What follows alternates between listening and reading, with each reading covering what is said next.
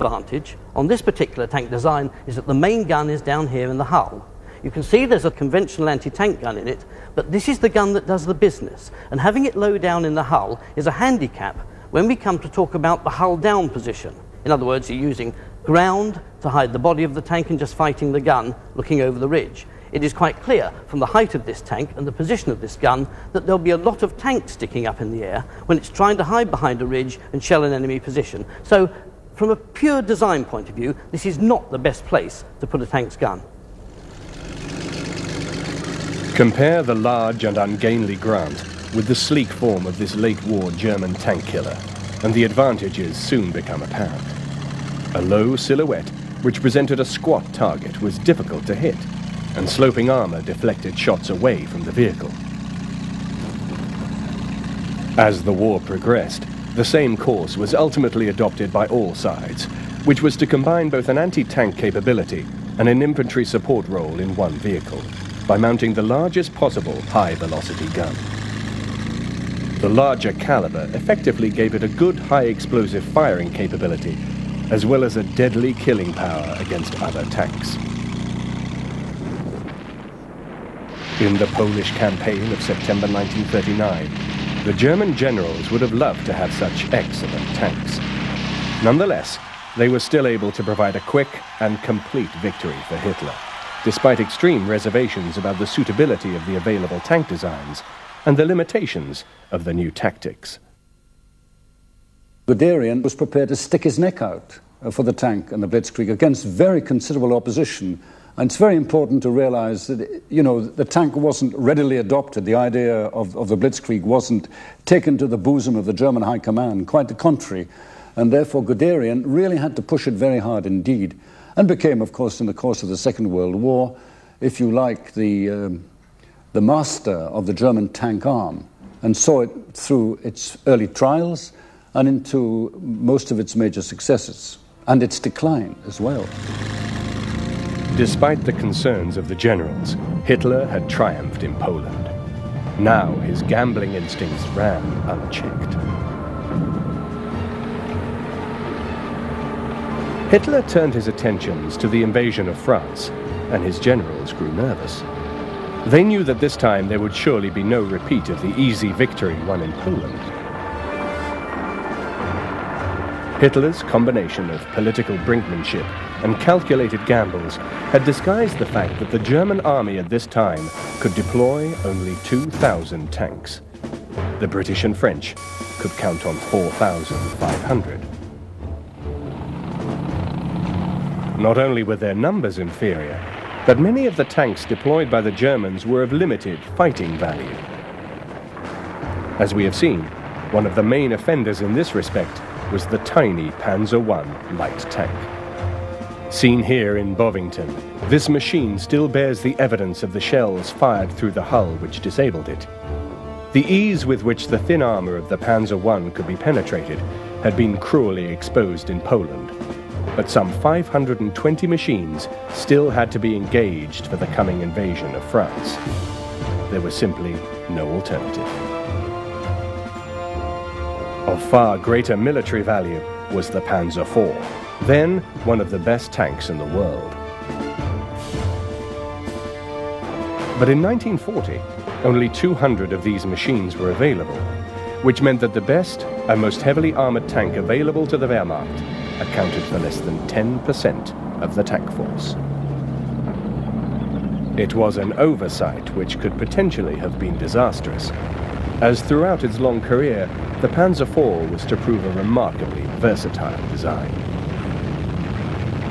There are those who say that if the Germans had stuck to the Panzer IV and built large numbers of them, they'd done a lot better than messing about with tanks like the Tigers and Panthers. The reason is that this was a superb all-round design. It was in service when the war broke out. It was still an effective frontline tank at the end. And the reason is that the Germans built expandability into the design. Its armour thickness increases two or three times over the wartime period, and that does not affect the tank's performance at all, although it's getting heavier. And the gun, although it doesn't increase in calibre, certainly increases in size from a short barreled 75 to this long 75, which enabled it to keep pace with developments on the other side. In other words, we would come up with tanks like the Cromwell and the Sherman. By upgunning the Panzer IV, the Germans kept pace with us and in some ways were that bit ahead of us. And it probably would have suited them better to have large numbers of these things in the field than mess about with the heavy tanks, which, for all their other virtues, were a considerable liability on the maintenance front. Taken together with the Mark III and IV, the German tank force on the eve of the decisive battle in France deployed 500 Panzer Is, 1,000 Panzer IIs, 350 Panzer IIIs, 200 Panzer IVs, and 400 of the Czech-manufactured Panzer 38Ts.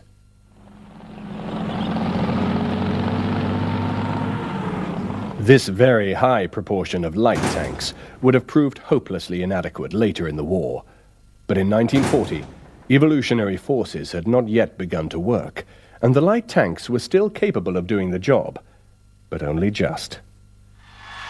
But as the history books testify, Hitler was to triumph as completely in France as he had done in Poland. He did so for two reasons. Firstly, there were the poor French and British tank tactics. Although some pioneering work had been done in Britain, it was the Germans who had developed Blitzkrieg to its fullest extent, with the help of their future adversary, the Russians. As the Germans began to be very well aware, it was the Red Army under Tukhachevsky, under Chalebsky, and others who were developing the theory of what is called deep battle. In other, in other words, operations for deep penetration using a combination of tank troops and airborne troops and, if you like, um, motorized infantry. So I think it's a little unfair to um, ascribe all of this to Liddell Hart and to Fuller. It was, in many respects, uh, the practical experience which the Germans acquired in Russia, which I would regard as being perhaps the most decisive and even more important. The Russians at the same time were wor- working out very, very complex theoretical backgrounds to this. So there was a co- coincidence, if you like, of the German interest and commitment and, and Soviet practice. One other significant factor which led to the German victory in 1940 was that the superior French tanks were distributed in small contingents throughout the army. The German tanks, on the other hand, were concentrated together in the new panzer divisions, superbly led by able commanders.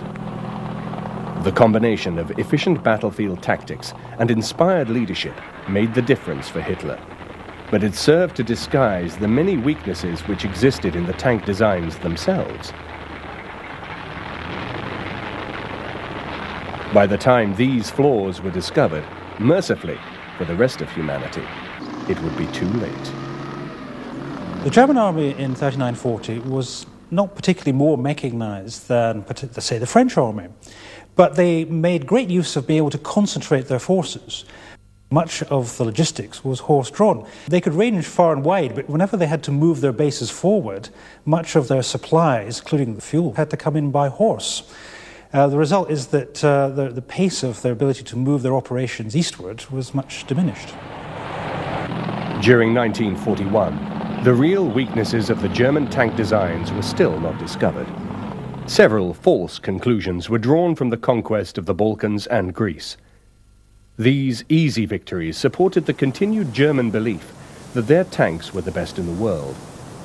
Although the design work that was to lead to the Tiger had begun, there was little real urgency. Up to the summer of 1941, Germany's main adversary had been Britain, and British tank design lagged behind Germany's. In the North African campaign, the poor performance of the British Crusader tanks only gave fresh support to the German view that the Panzer III and IVs were at least equal to anything the Allies could throw at them. The Crusader was particularly badly designed, and it was plagued by a host of mechanical failures. Eventually, the British Army lost faith in their own tanks altogether, and in 1943, when the victorious British and American forces embarked from Africa for the invasion of Italy, all of the British tanks were left behind. Now, the Crusader is arguably one of the worst tanks Britain ever produced. It was a cruiser tank. That means it was designed to travel fast and relied on its speed far rather than its armour thickness for protection. The drawback was it was also chronically unreliable, and breakdowns